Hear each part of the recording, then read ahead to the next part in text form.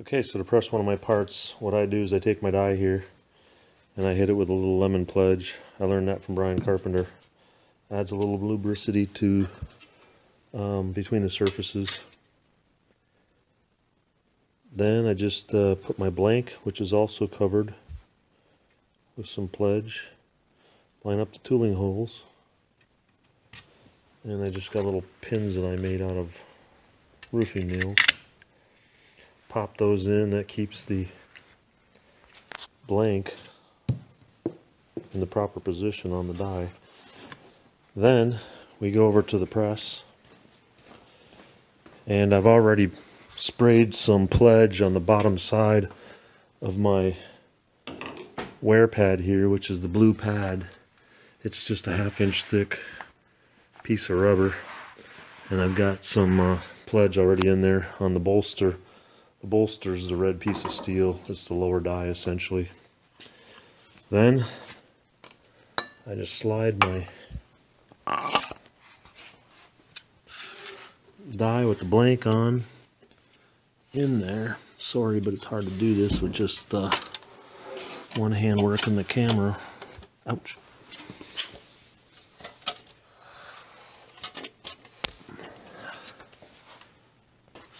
Okay, so now I've got it centered on the uh, bolster. You can see the die in there with the uh, blank on top of it.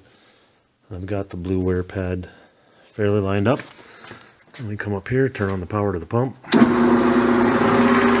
There's the pump to the motor. Then I've got to close this valve. This is the valve that allows the pressure to build up. And here's my operating lever. It's connected to the valve on top of the tank. And we just start running the, the uh, bolster up into the rubber box. There is rubber up underneath there. That's a piece of rubber inside that big box. The cycle time's a little bit long on the way up. If this was a real production process, I'd look for a way to shorten the cycle time, but for me, for now, this is okay. It takes about 60 seconds for it to go to the full up. You can see there now where it's starting to get up into the rubber box. As soon as the rubber makes full contact all the way around, we'll notice the pressure starting to come up on the uh, gauge here by the valve then it'll quickly spike up to 2,500 pounds. Try to get both the die and the gauge in the same thing. You can hear it going up now. That's my relief valve operating that's making that screeching sound. That's a, uh, a 2,500 pound relief valve I've got set. I just leave the pressure up on it for a while. Bump it a few times just to keep that pressure on the rubber and let it form that uh, piece pretty well. Then we'll relieve the pressure back off.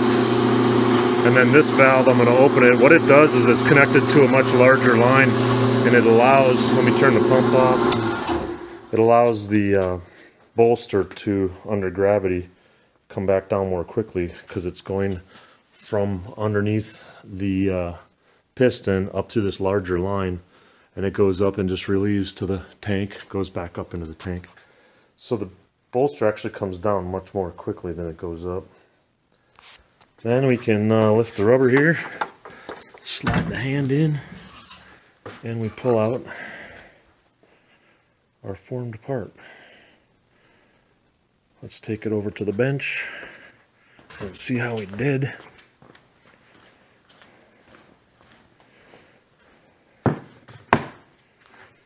Got to, uh, sometimes it takes a little effort to pry my, uh,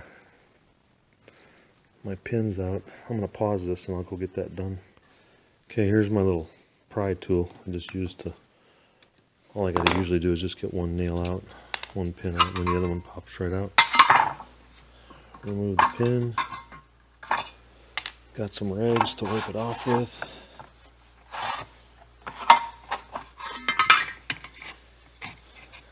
And then we can take a look at what we got here. Now usually up here the nose needs a little bit of reworking and I got to do some handwork on that. I usually just take a hammer and I knock those uh, those high spots that you see down and it's pretty hard to get rid of that with you know with forming tempered material it's going to just do that and you'll see also at the bottom of the gullets there's a little peak there at the bottom of the gullets um, what I do is I I work that out by hand with a hammer. I just tap it a little bit with a hammer and then I put it back in the press and I press it one more time and it usually comes out uh, really nice. And then these points up here I've got to do a little bit of handwork on. Um, I open that gap up a little bit and then repress it and I again I tap them down and a little bit of file work a little bit of handwork uh, it comes out pretty flat. That's a 12 inch part. There's about a millimeter if you put a straight edge from the tip here down to the base. You'll see about a millimeter of dish in it. Um, and that's just a matter of you know the compression along these flanges right here. You can only get so much. And with pressing tempered material um, that's about the best you can probably get unless you uh, what you talked about earlier what we uh, mentioned earlier with uh, annealing the material but then you've got the hassle of having to retemper it now that little goober on the flange there that's been in there from every press part that I pressed and I'm not sure why that's in there it happens in the same spot each time. This is the fourth one I pressed. This one gets a little tiny one. But this one, I'm thinking it's just going to need another uh, tab there to take that out. Um, it comes out with a little uh, a little handwork, um, but and this material was just some uh, some junk material I had laying around. In fact, you can see an extra hole in it there. I didn't realize that hole was there until after I'd cut it out with the router, but that's pretty much uh, what you get on the first pressing. I'm going to handwork this a little bit and then I'll bring you back and I'll show you more of what it looks like uh, after the second pressing. Okay guys, here's the uh, part after the second pressing.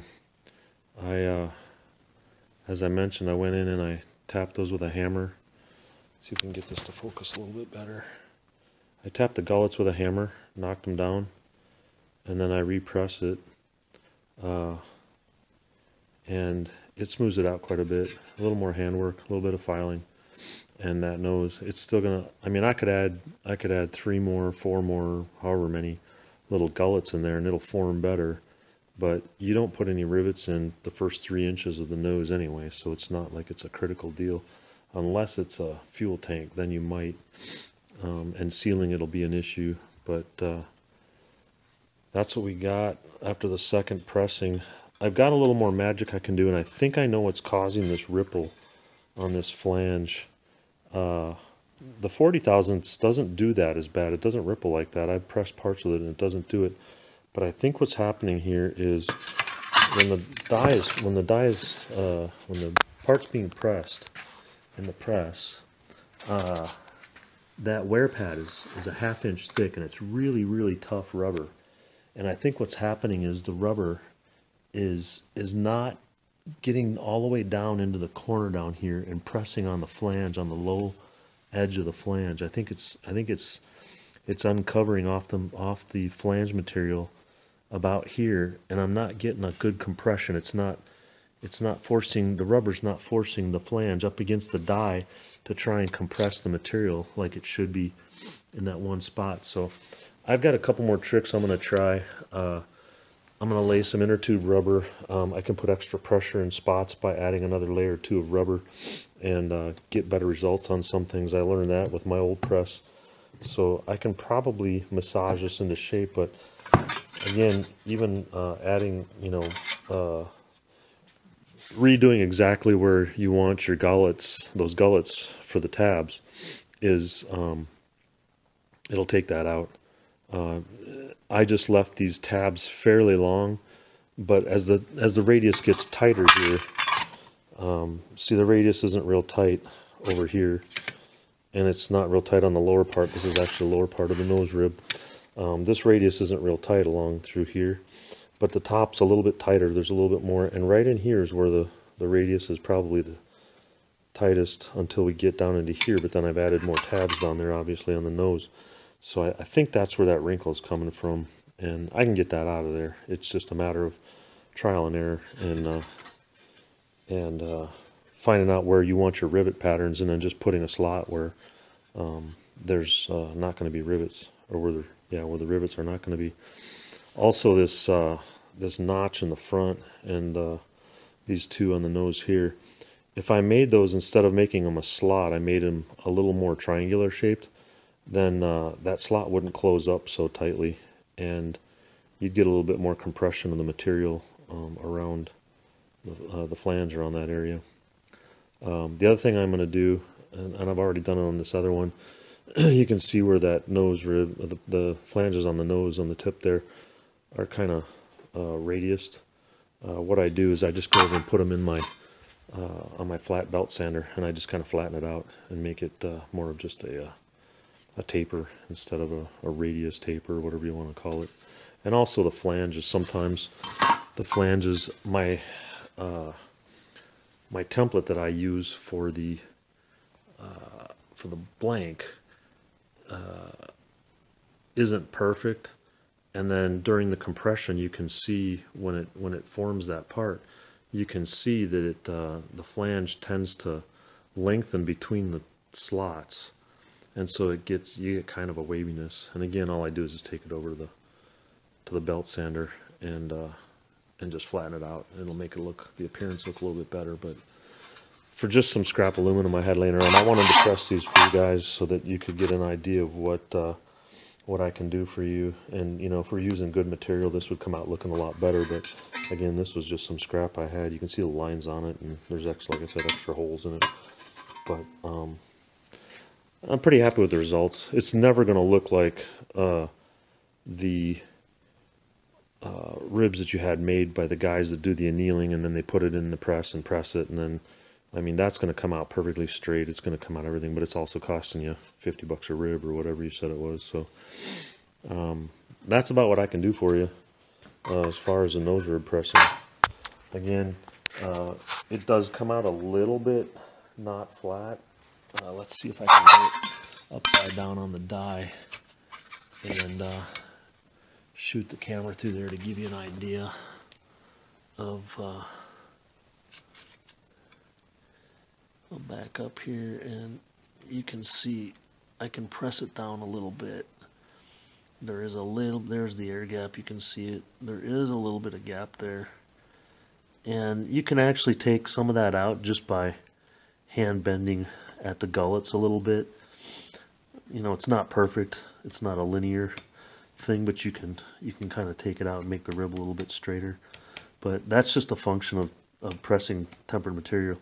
You're going to be hard pressed to find anybody that can get that out, unless you make a three-dimensional die that's that's uh, you know humped in the middle, and you know go through a lot of uh, work that way. You could probably get that out a little bit, but um, for what I'm doing for Prowler and hopefully work for what you need there for your uh, project. That'll get you pretty much really in the ballpark for uh, for what you need for ribs. And again, these problems are really accentuated in the nose ribs. So your mid ribs and anything with a more gentle curve, you're not going to see um, near the issues. But uh, on these really tight bends, that's just what tempered material does. So I clean it up, like I said, with a hand, with do some handwork, filing uh, with a hammer, tapping it down, and you can get it, you know, pretty cleaned up. It'll look pretty decent. And uh, if I was going to do this, I'd probably hit this with a Scotch-Brite wheel, and then uh, put some uh, some green uh, primer on it, and uh, probably call it good. So I'm going to go get this video cleaned up and see if I can get this to you guys and see what you think. And if you want, you can send me your address and I'll, uh, I'll send these blanks to you so you can have them in your hand and take a look at them and uh, see what you think. Thanks, guys.